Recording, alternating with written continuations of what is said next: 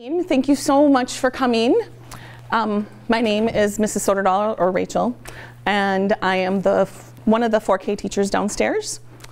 My name is Mrs. Bungle, and I am one of I am one of the teachers downstairs. I do um, PK3 and PK4. And then we also have another 4K teacher as well downstairs. She's not here tonight, but her name is Mrs. Kohout. Um, and we just wanted to welcome you and thank you for coming. Um, you should have all grabbed your handbook because we're going to kind of go through your handbook as our um, presentation goes on. Um, I would just like to start with a prayer. So if you can put yourselves in the presence of God, in the name of the Father, Son, Holy Spirit, Amen. Gracious God, as the summer begins to fade, new possibilities lie on the horizon. Bless all of those who are beginning or returning to their roles as teachers, as well as those who lead and support them in their efforts. May this school year be a time of grace as they teach, share, and challenge others to grow in faith, knowledge, and wisdom. Bless children along with their parents as they begin a new school year. May their minds be open to learning and to the wonder of discovery and insight. Be with us all as we embark on this new year. Amen. name of the Father, Son, Holy Spirit. Amen. All right, so we start with philosophy. So in our program, we believe in a play-based curriculum and a developmental approach to learning, and that parents are partners to their child's education. So play-based what we do is we believe in play-based education. So we create activities, we do fun games, learning stories, and things where the children are actually learning a lot of the skills that we would like them to learn while they're playing. Many of the times while they're doing these things, they don't even realize what they're learning along the way. So they're really learning more while they're playing. That's the way we believe children should learn best. Um, our next slide is on curriculum. And our curriculum enhances and engages the child's cognitive language, social, emotional, physical, creative, and spiritual development by integrating the content, our content into different learning centers throughout the classroom. Um, for our daily schedule, we do um, try to get in at least one hour of playtime, if not more, in the morning and in the afternoon. And then we have several short, large group times where we do a story, we do calendar, we do weather, we do religion. Um, we're going to do foundations this year where we're looking at the alphabet letters. Um, we'll do music and movement at that time, and then we also put in um, some second step, which is social skills that we work with the kids on as well at that time. For specials, um, most 3K and 4K classes will get music and Spanish once a week. And then for 4K, we will do Mass um, once or twice a month, but we start that in January after we've gotten through the um, how to walk in a line and get where we need to go, the basics of that. We practice the developmental approach. Lots of people don't know what the developmental approach is. What it is is that we understand that all kids develop at their own rate. Just because they're three years old or four year old doesn't mean that they all know and can do the same things that the rest of their class can do. So it is our goal to get to know each of the children individually and well enough that we learn what skill level they're at in each of the different areas then what we do is we will change those different activities to meet the different levels of each child. So one child might know the basic shapes. So for those children, what we would do is introduce them to more complex shapes to increase what they know. Letters, some children are just starting to learn the letters in the name, while other children might know all the letters of the alphabet. For those children, we would start to work on the sounds of letters. Um, one thing that they do in the 4K program is we work on Wilson Foundations, and that is a program that carries up into the upper grades as well. Um, with that, we learn the different ways and the different sounds that the letters make. Um, we do practice that. We also um, expose that to the 3K program, but it's not expected of those children to know those until, to know, what was it that we, for the um, Wilson Foundations.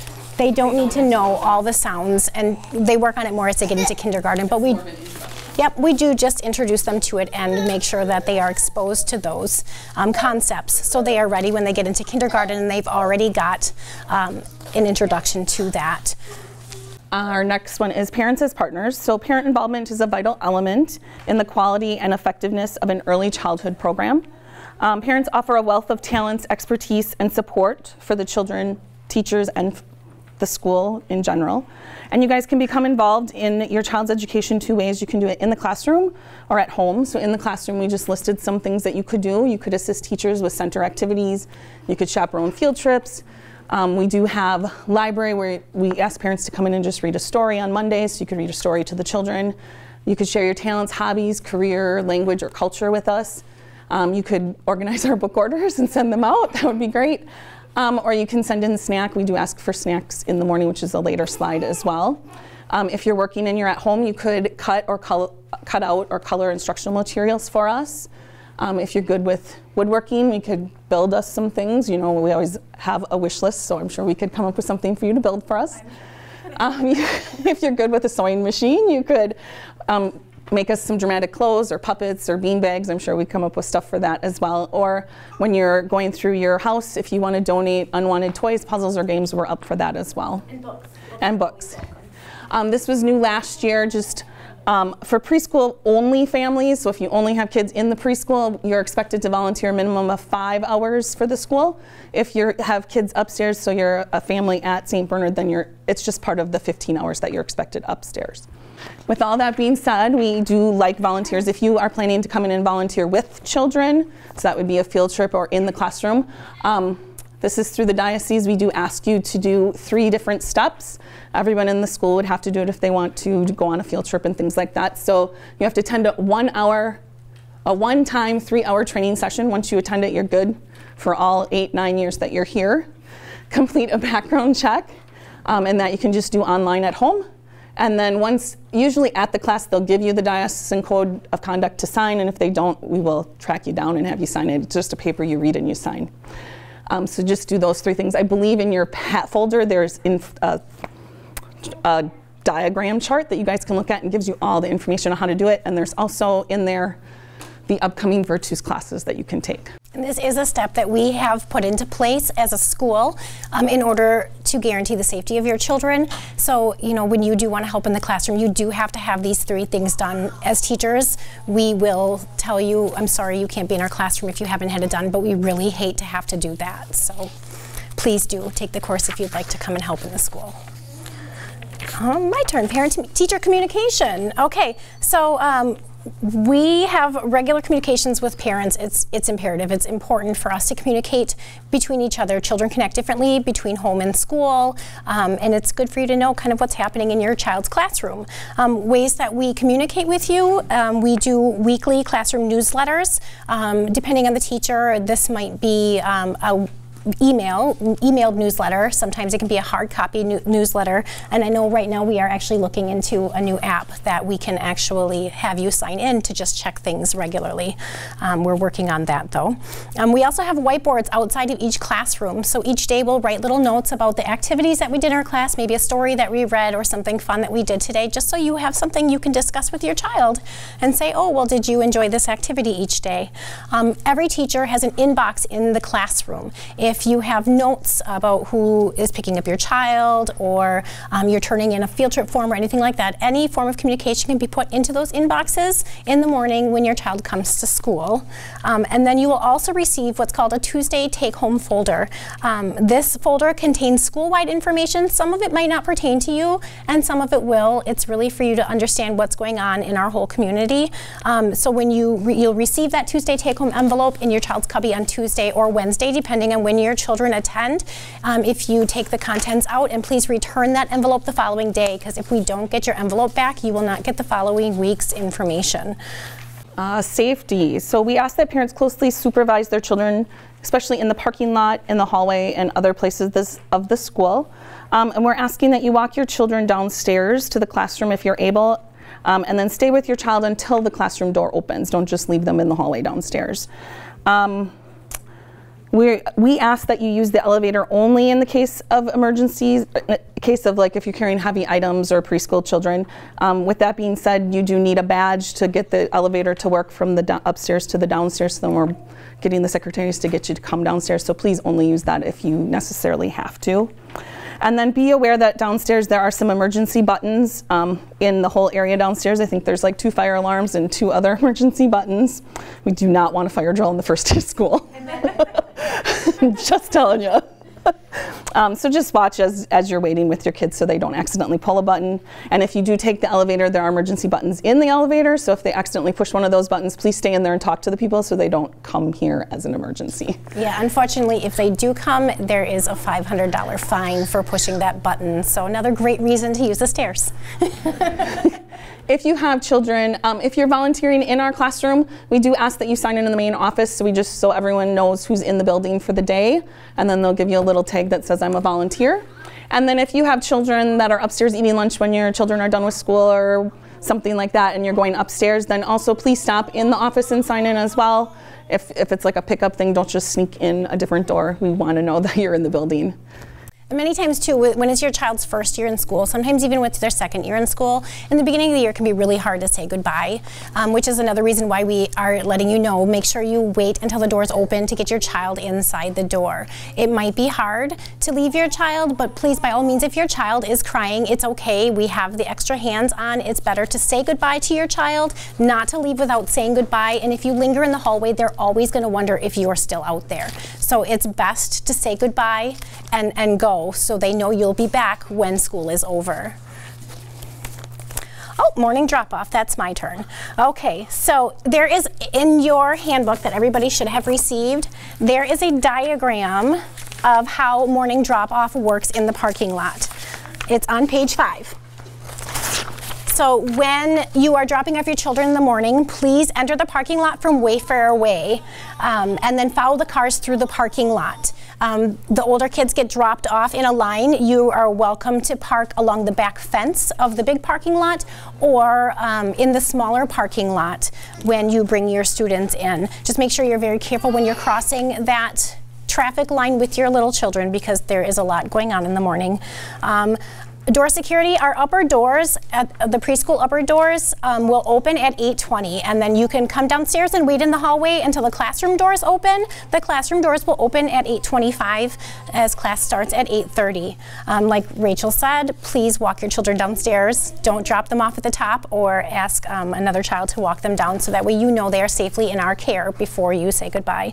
Um, bus students will gather outside by the flagpole. We have an eighth grade helper that will meet the students from the bus and will stay with them as they wait at the flagpole until it's time to come inside. They will bring them downstairs um, as, um, as a group, so they are they are never alone.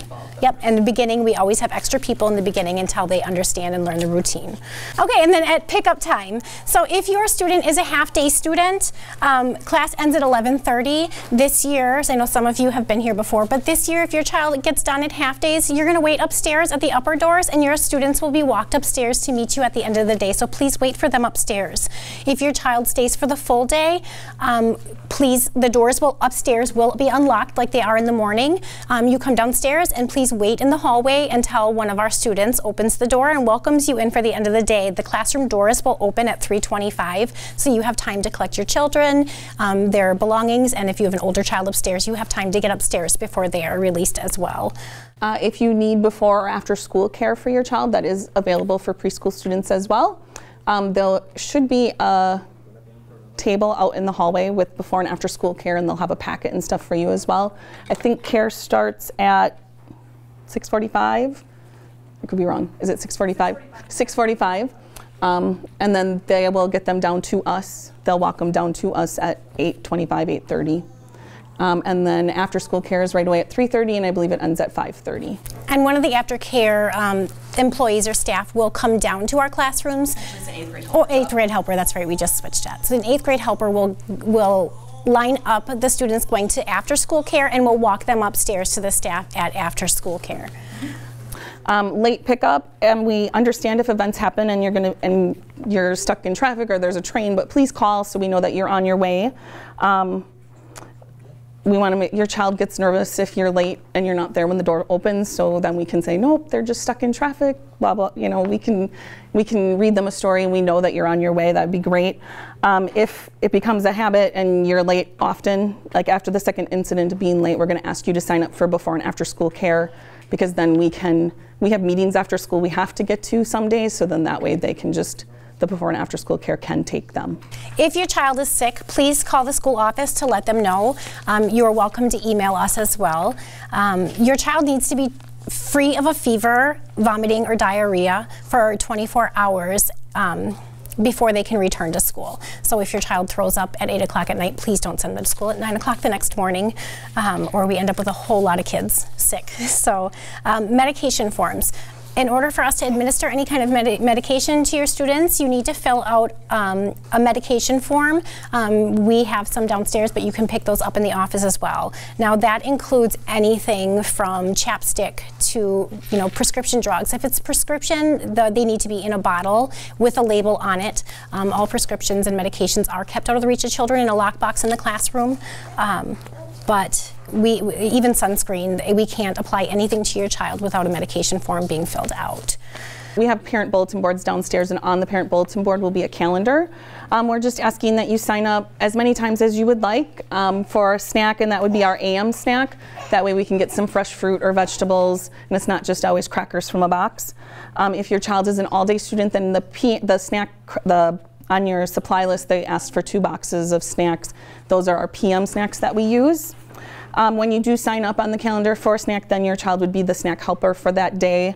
They kind of set the tables for us and they put the snacks out, so it's their job and their special um, thing to do for the day. Um, if allergies, if your child has an allergy, let your teacher know at Meet the Teacher Night. We'll have green slips out on the paper. Please fill those out. We'll put them in our cupboards so that the aides are aware. They look at it every day. Um, that way we can let the other parents know as well. So last year I had like three peanut allergies, so I just asked for everything to come from a box, um, just so we're aware of what there is. Um, and then birthday treats, it's a school-wide rule that birthday treats, so cake, cookies, cupcakes, all of that is not allowed for your child's birthday. So we, we do still sign them up on their birthday as the snack helper, so that will already be on the calendar. So just bring their favorite healthy treat. So if they really like apples, bring apples. We sing to them. We, we still do the whole thing. It's just not a cupcake or a cookie. It's a healthy snack. And unfortunately, if you do send them, we have to send them back. And that's really hard on the kids. So please keep that in mind when sending snacks. We do ask that they're healthy snacks too. One of my least favorite things to get for a healthy snack is chips. So I know it can be an easy go-to grab thing, but it's really not a healthy snack. So. Yep, some ideas for healthy snacks would be finger sandwiches, trail mix, fruit, cheese, yogurt, crackers, vegetables, vegetables fruit, cheese and sausage. Um, all students are automatically have a lunch account here at St. Bernard. So if your student is a full day student, they're eating lunch, they automatically have a lunch account. Um, all you have to do is add money to their account. So you can write a check or pay cash. Um, the check should be made out to Grace and uh, maybe on the memo line put hot lunch so you know what it's for or the office knows what it's for.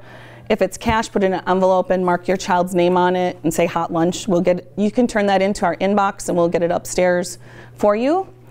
Um, I know last year there was sometime if you have more than one student here, if your lunch money doesn't get in your account, let us know. Sometimes it gets put in another child's account. So just let us know. One of your children's accounts yeah. versus split between right. two or three children. So, so just let us know and we'll investigate that as well. And then there's also, I'll just say, there's a red mailbox outside the main office too. So if you happen to be here before and after hours, if you want to drop off any payments, you can put that in the red mailbox that's right outside the main office.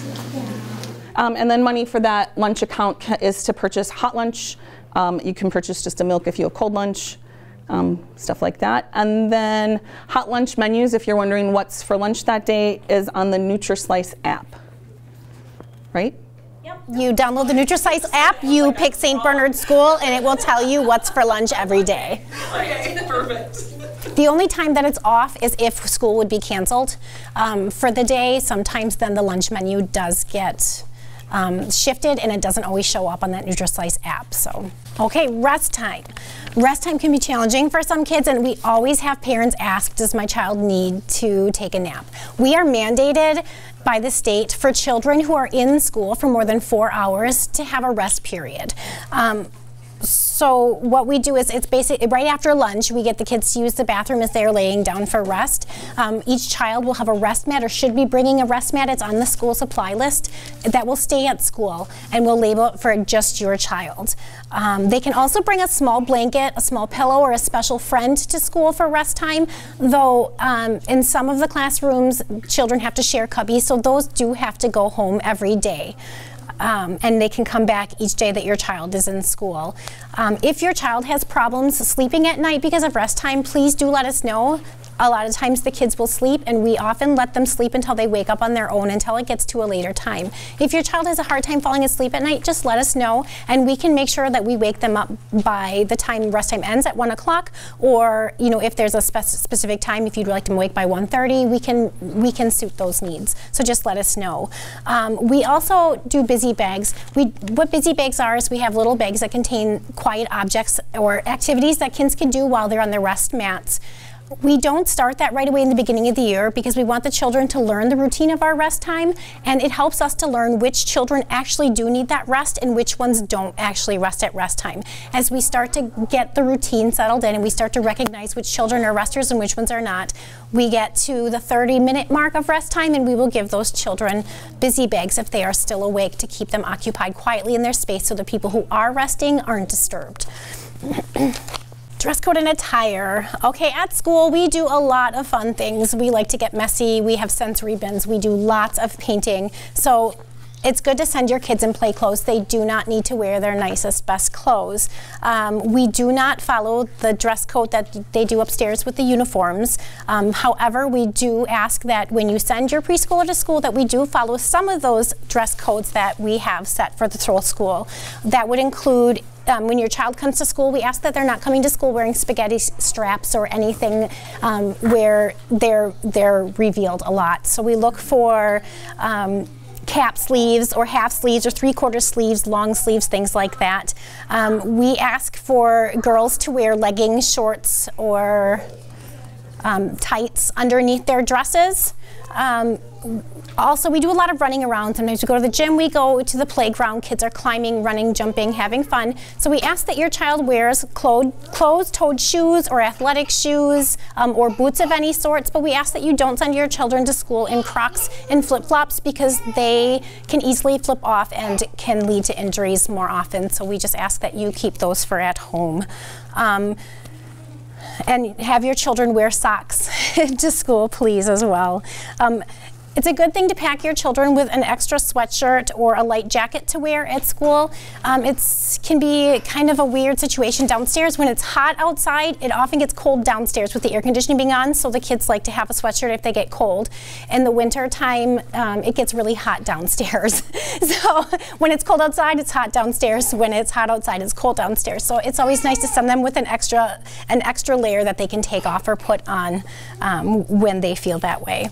Um, winter gear during the winter, every child needs to have um, their winter gear. That's snow pants, coat, hat, mittens, um, and boots. If your child does not have winter gear and it's there's snow outside on the ground, they cannot go outside to play. So we would hate for anybody to lose out on that activity. Another thing that we ask you to do that really helps us out is to label all of your children's gear. It can be really chaotic when you have 19 three year olds or 24 four year olds taking off all of their snow gear at one time, plopping it on the floor. And if you ask them, whose snow pants are these, nobody's going to know. So we just ask you for you to please label them so we can make sure that they get back to the right kid. Um, and extra clothes. Um, accidents happen in preschool, and that's to be expected. Um, we do have extra clothes in the basement. However, children are always more comfortable wearing their own clothes. We will send home a bag for you to put extra clothes in to keep in their backpack as they come to school every day. So if they would have an accident, they would spill on themselves or anything like that, we can have them change into their own their own clothes and we will put their soiled clothes or their wet clothes in a bag to send home in their backpacks for you. Field trips. We try to take two to four field trips per school year. Um, we have one already set up for the apple orchard pumpkin patch combined. Um, when is, do you know the date? No, I can't. Okay. I think it's the end of September, beginning of October. Just we'll get it out to you. We'll get it out to you as soon as we can because we do like to have parent come along and help chaperone on those as well. The cost for those field trips are covered under your activity fees, so we're not asking you to pay any money for them. And all this year, due to the low enrollment numbers on Tuesday, Thursday, we're going to take all of our field trips on Mondays or Wednesdays. So the Tuesday, Thursday uh, three-year-old class is definitely invited to come. You get an extra day that week. Come along. It's just more cost effective for us to do it that way, um, to have our field trip on Mondays and Wednesdays. So we'll schedule all of them on Mondays or Wednesdays. And then if you are planning on coming, chaperones must be VIRTUS trained and background checked before um, you go on the field trip. And I just let you know it takes two to three days to get your background checked approved. Don't do it the night before. All right, you everybody should have received a supply list, um, so please bring those items to school as soon as you can, um, the first day or shortly thereafter, if possible. Um, each child should bring a backpack every day to bring the things that they've made at school or communication information home. Um, please do not send your child to school with any toys from home. Um, they where we don't want them to get lost, broken, or become a distraction to others in the classroom. There is, however, every child has a set show and share day once a month in our classrooms. They'll be part of a group. On those days, they may bring a toy or anything they would like to share with their class from home. However, we do ask that it is not a violent toy. It doesn't contain guns or weapons of any sort, please. Um, and then also, um, no chewing gum at school, please. Um, getting close to the end, at the end of your preschool handbook, there's a blue piece of paper, so that's just an acknowledgement form. So take your handbook home, kind of read through it. We summed up the big parts of it, but there's other things in there as well. So read through the whole thing, and then we're just asking that both parents sign the last form, and then you can return it to your teacher that first week of school. Um, and if you do need a second copy of the of the handbook or a copy of it in Spanish, let us know. We have extras on the side. And then we just want to thank you all again for coming tonight. We really appreciate that you took the time to stop in and hear how things work downstairs in preschool. If you guys have any questions at any time, please feel free to come and talk to us now or contact us at any time and we'll get back to you as quickly as we can. Thanks again. And I'm just going to introduce myself. Um, I'm Crystal Blonick. I'm the principal here. Um, so I really want to thank all of you for the sacrifice that you're making to send your children to a Catholic school. I know that um, you have other choices. So thank you for choosing us. And I do want to say that these two women are some of the best teachers that I have ever worked with. So your children are in good hands. My own children have been through the program. Um, one of the things that I think that I'm really most proud of is the play-based approach, along with the way that we integrate faith into that as well. Um, in the spring, I don't remember, I was in and out, so I don't know if you mentioned this, but in the spring, the four year olds, we actually start bringing them with their big buddies to the church so they get that experience as well. And I think as parents, what ends up happening is our children start to um, evangelize us. So don't be surprised if your children start saying, you know, I went to the church and I really want to go back there. Um, just because you're a parent here doesn't necessarily mean you have to be here at St. Bernard. If you have another church that the grandparents go to and they want to experience that, we highly encourage that. Um, I just so just be prepared. That that spirituality piece is something that kind of grows with us as parents as our children are here. Um, and then I just want to um, I just want to say welcome to St. Bernard, and there's going to be lots of opportunities for you to ask questions and um, get to know one another, and it's a really fun community. So welcome, welcome to St. Bernard. Bienvenidos a San Bernardo.